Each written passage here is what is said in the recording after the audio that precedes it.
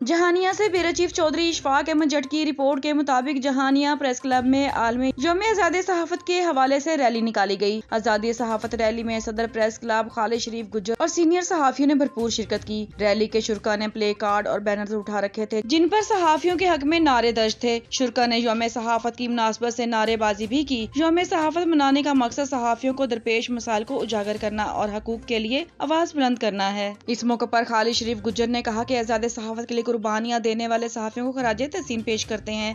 आज का दिन अरशद शरीफ के नाम इनके कातलों को गिरफ़्तार करके कैफरे किरदार तक पहुँचाया जाए। आज तीन मई योम सहाफ़त के दिन के तौर पर मनाया जा रहा है। हम जहानिया प्रेस क्लब जहानिया में एक एहतजाजी रैली भी निकाली है। आज का दिन हम उन शहदा के नाम करते हैं, जिन्होंने अपने फ़राज अंजाम देते हुए अपनी जान कुर्बान की ख़ास तौर पर अरशद शरीफ के नाम। और दीगर जो साफ़ी हैं, जिन्होंने ईमानदारी से अपना कलम का जो है इस्तेमाल किया। हम उनको सलूट पेश करते हैं।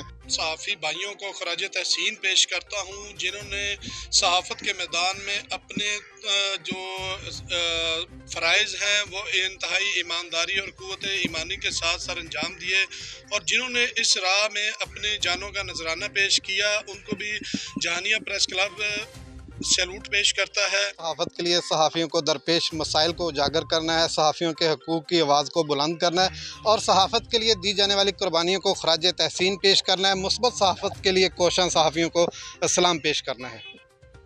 जहानिया से बेरशीफ चौधरी शफाक अहमद जट की रिपोर्ट के मुताबिक एडिशनल सेशन जज जहानिया मोहम्मद अफजल मजूका ने कत्ल के मुलजिम को सजाए मौत और पाँच लाख रुपए जुर्माने की सजा सुना दी। मुलजिम ने साल 2022 में पिस्टल के फायर करके उमेर आदिल को मौत की घाट उतार दिया था।